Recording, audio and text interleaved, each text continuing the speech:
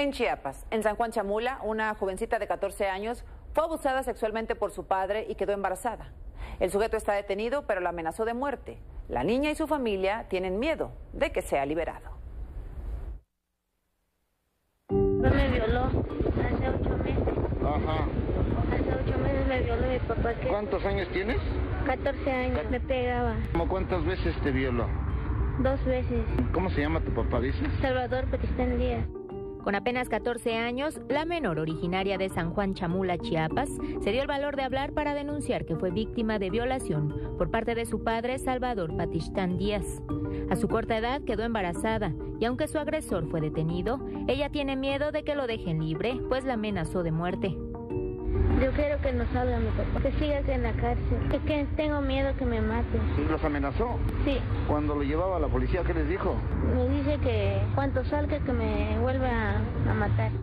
La Fiscalía de Justicia Estatal confirmó que Salvador Patistán fue detenido el 10 de marzo por el delito de pederastia agravada y puesto a disposición de un juez en el penal de San Cristóbal de las Casas. En redes sociales, familiares del sujeto difundieron un video de él en la cárcel en el que denunciaron que fue arrestado sin motivo.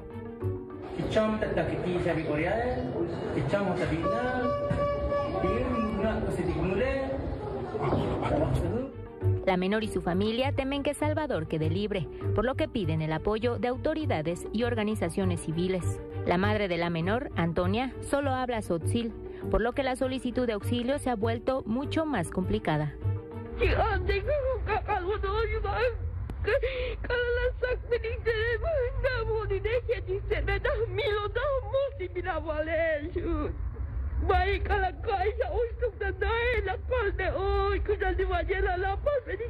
keskude ancan mila valune famas alel dahim da sakum oh, kuntana da milo da moh di yud vai kala yun da bak bata tükele ay el kil gidi kele di lok dale sana jilale el da hem sakum bigli el di oy pala he di lok el di vai do kuda kuda kuya ati da lok